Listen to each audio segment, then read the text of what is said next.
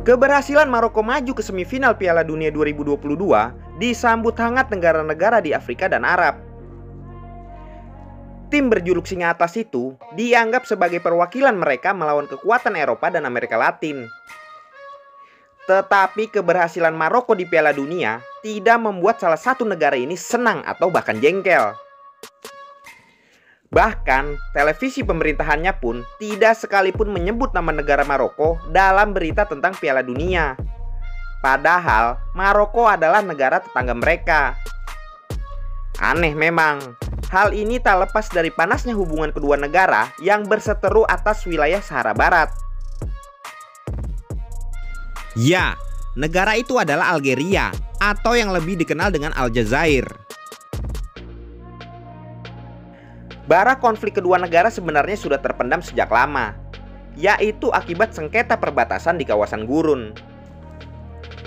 Sengketa perbatasan itu terjadi sejak 1962, kala Maroko menyusul Aljazair menjadi negara merdeka. Karena Maroko dan Aljazair sudah merdeka, mereka memperebutkan kepemilikan wilayah gurun yang membentang di antara kedua negara. Pihak kolonial Prancis sebenarnya memberikan kawasan Sahara Barat itu kepada Aljazair setelah mengakui kemerdekaan negara itu. Namun, pada tahun 1963, Maroko berupaya merebut Sahara Barat hingga pertempuran Perang Pasir pecah. Beberapa minggu kemudian, kedua negara itu menyepakati gencatan senjata. Mereka berhenti saling serang demi mencegah keterlibatan pihak luar yang dapat memicu perang lebih lanjut.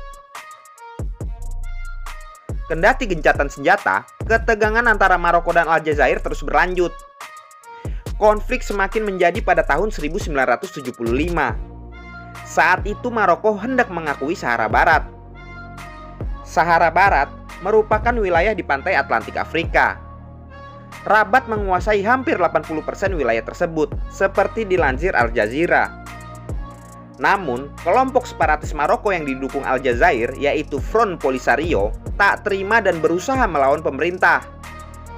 Kelompok ini pun berperang melawan pemerintah mulai tahun 1975 hingga 1999 untuk menuntut referendum. Maroko sempat menawarkan otonomi untuk wilayah Sahara Barat, tapi menegaskan bahwa kawasan itu masih masuk dalam kedaulatan mereka. Baru-baru ini, yakni pada Agustus 2021, Aljazair dan Maroko juga sempat ribut. Kedua negara adu argumen usai kebakaran hutan besar melanda utara Aljazair.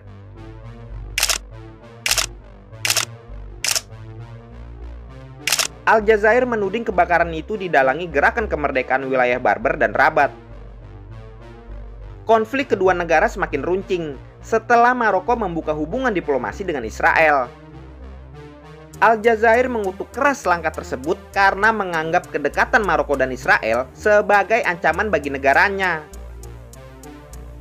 Bagaimana menurut kalian? Tulis di komen.